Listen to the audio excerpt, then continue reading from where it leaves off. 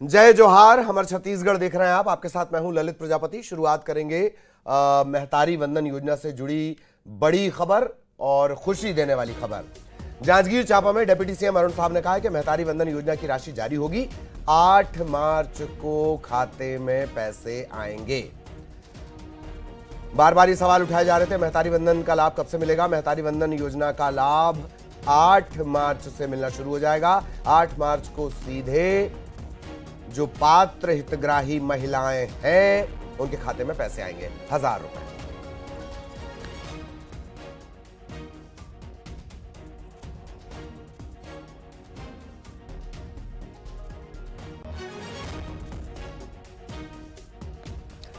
तो महतारी वंदन योजना, मोदी की गारंटी में से एक महत्वपूर्ण गारंटी। माना यह जा रहा है कि मास्टर स्ट्रोक साबित हुई है महतारी वंदन योजना, और अब इसे लेकर जो तमाम बीजेपी के कार्यकर्ता हैं, वो फॉर्म भी लगातार भरवा रहे थे। फॉर्म की स्कूटनी के बाद जो पात्र हितग्राही होंगे, उन्हें महतारी वंदन योजना की राशि जारी की जाएगी। जांजगीर चांपा में डिप्टी सीएम ने ये बड़ा बयान दिया है।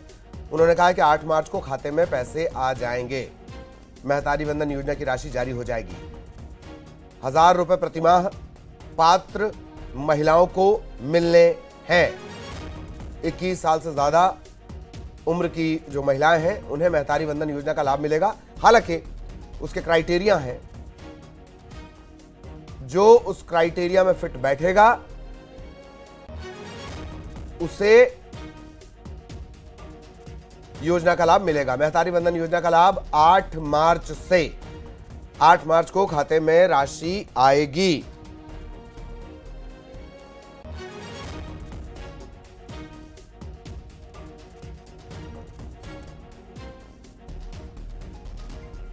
डेप्यूटी सीएम अरुण साहब ने यह बड़ा बयान दिया है जांजगीर चांपा में कि 8 मार्च को सीधे खाते में पैसे आएँगे। महतारी वंदन योजना की राशि जारी होगी। तो महतारी वंदन योजना से जुड़ा बड़ा अपडेट आपको बता दें, जांजगीर चांपा में डेप्यूटी सीएम अरुण साहब का बयान आया। महतारी वंदन योजना की राशि जारी होगी 8 मार्च को सीधे। जो पात्र हितग्राही हैं, उनके खाते में पैसे आएँगे।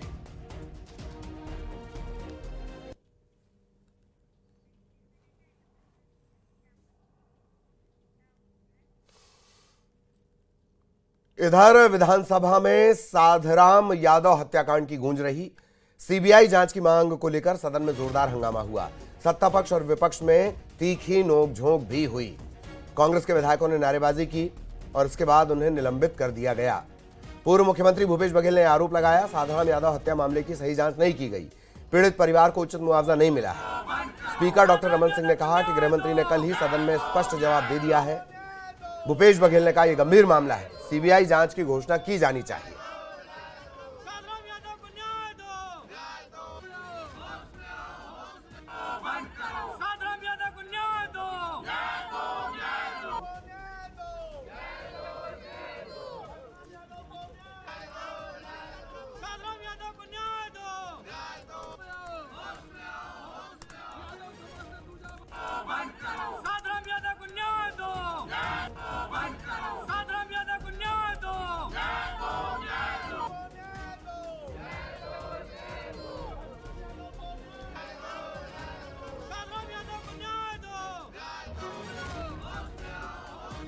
साधराम यादव के हत्या को लेकर कबीर धाम का ये पूरा मामला है, यानी कवर्धा। और रैली भी निकाली गई थी, आरोपियों को फांसी देने की मांग की गई थी, छह लोग इस मामले में गिरफ़्तार किए गए थे। 24 जनवरी के आसपास का ये पूरा घटनाक्रम था। चरवाहा साधराम यादव। पाँच से छह आरोपी इस मामले में पूरे गिरफ़्तार हुए थे।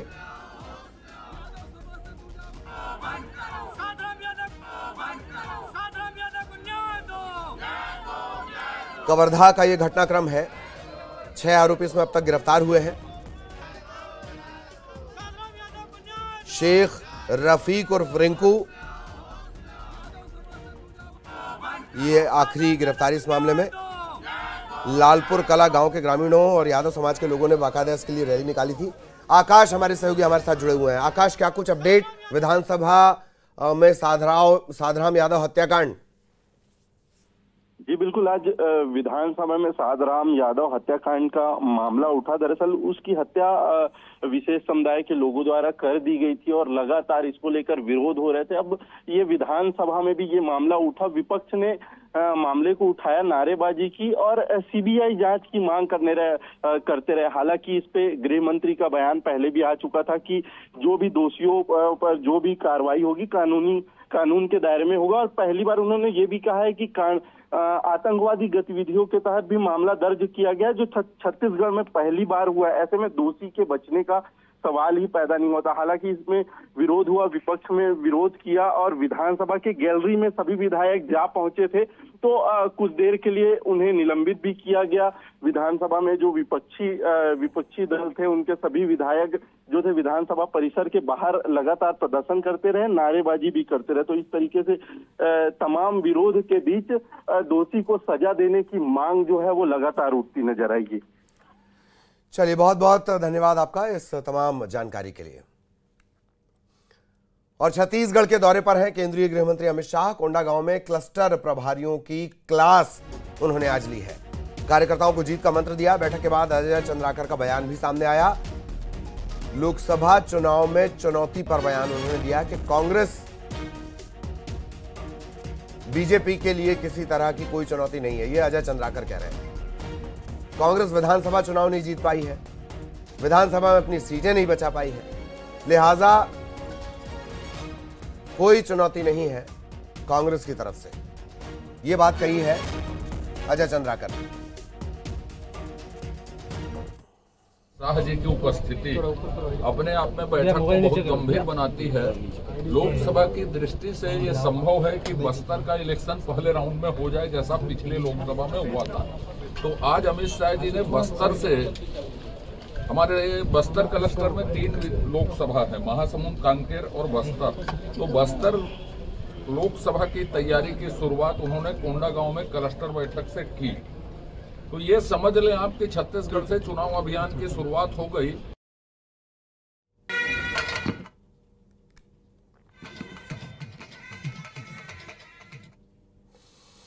और अब रायपुर से इस वक्त एक बड़ी खबर मिल रही है। पूर्व मंत्री की पत्नी पर बड़ा आरोप लगा है। शिव डहरिया की पत्नी, इन पर आरोप लगा है कि सामुदायिक भवन पर इन्होंने कब्जा कर लिया। नगर निगम की बैठक के दौरान यह मामला उठाया। निगम में नेता प्रतिपक्ष ने मामला उठाया। उनका कहना है कि पूर्व मंत्री शिव डहरिया की पत्नी ने सामुदायिक भवन पर कब्जा कर लिया है।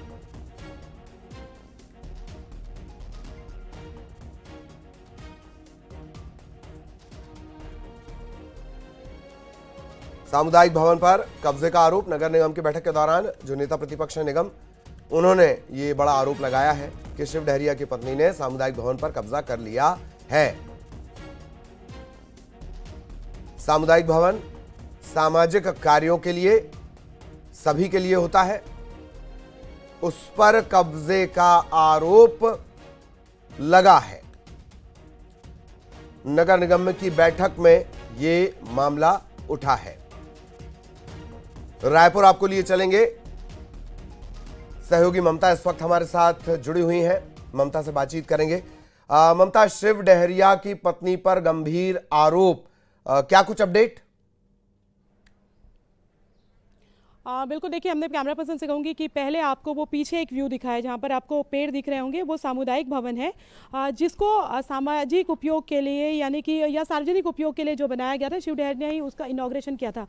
तो उस पर एनजीओ जो है वो शकुन डहरिया चलाती इसका आरोप लगाया गया और इसके साथ ही ये जो राष्ट्रीय सद्भावना सदन है ये दूसरा भवन है। यानी कि और ये जो बना हुआ है चूँकि ये जो पूरी सोसाइटी है एक बार कैमरा पर्सन से कहूँगी कि वो दिखाएँगे तो जो केंद्रीय कर्मचारी हैं उनके लिए और एक पूरी सोसाइटी बनाई गई है उसके ज़मीन आवंटित की गई थी सरकारी निगम से। और वहाँ की जो ज़मीन है, उस पर ये उन्होंने अपना एक दफ्तर खोला हुआ है और कहा जा रहा है कि ये जो पूरा जगह है, जहाँ पर ये बड़ा सा दफ्तर बनाया गया है, ये ई e के लिए आरक्षित किया गया था। लेकिन उस पर शकुन डहरिया जो है, वो अपना दफ्तर चलाती है अपना एक एनजीओ चलाती है, ये आरोप लगाए गए हैं और हालाँकि अब उसको बंद कर दिया गया है। लेकिन हम कोशिश करेंगे आपको कि हम आपको ऊपर से जो है, पूरा दिखाएँ कि कितनी बड़ी जो जगह है, उस पर कब्जे का आरोप लगा है।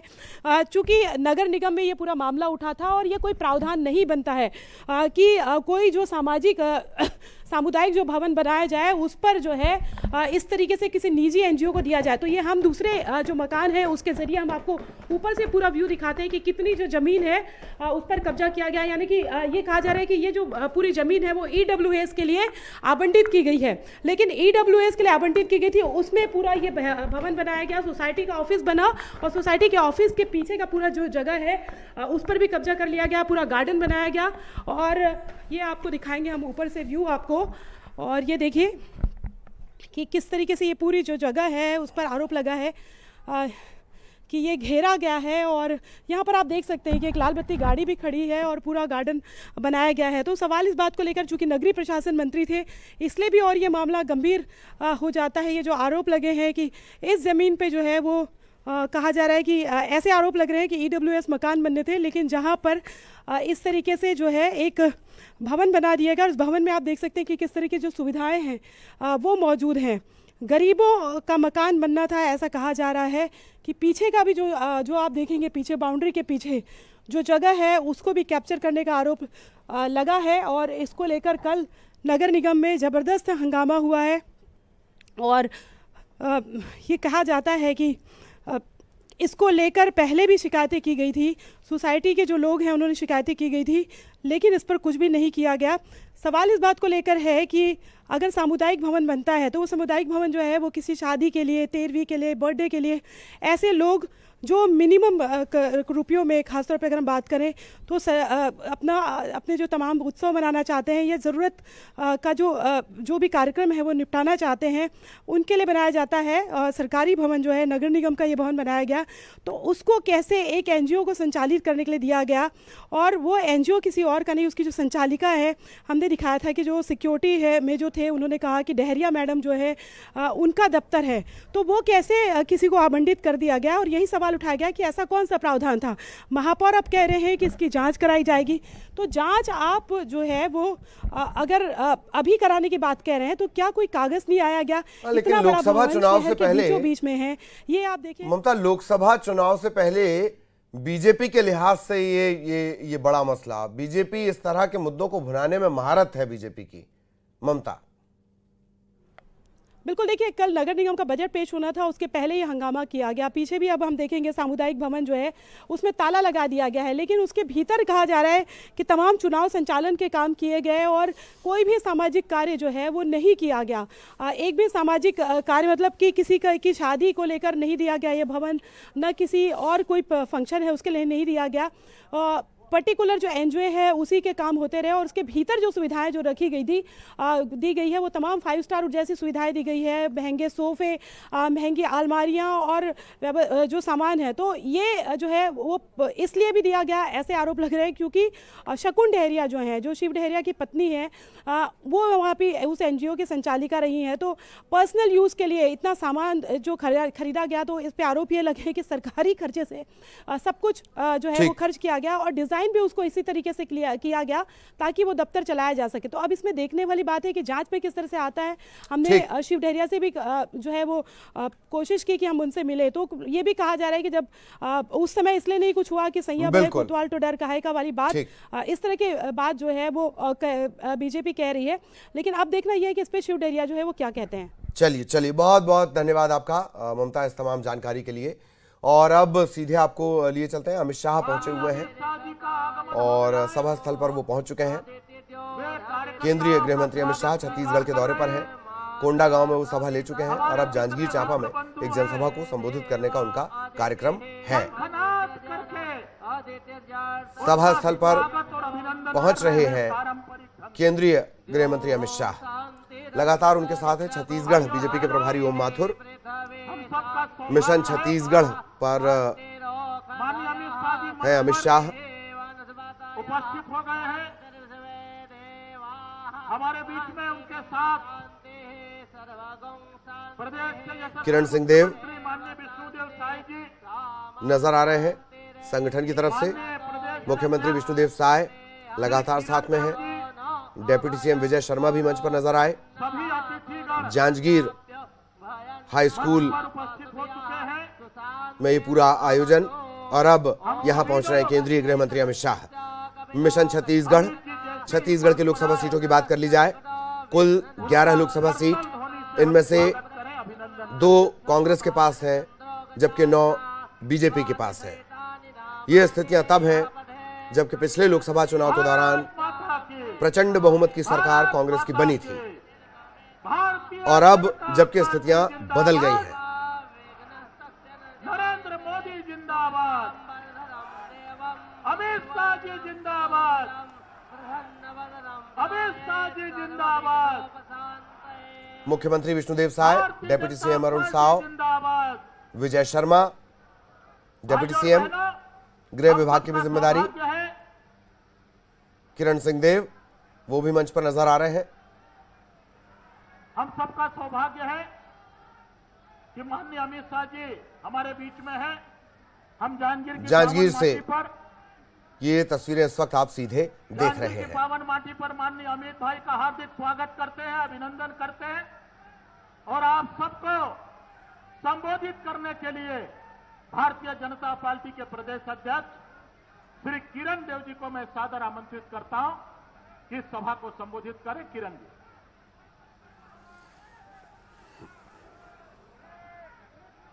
एक बार।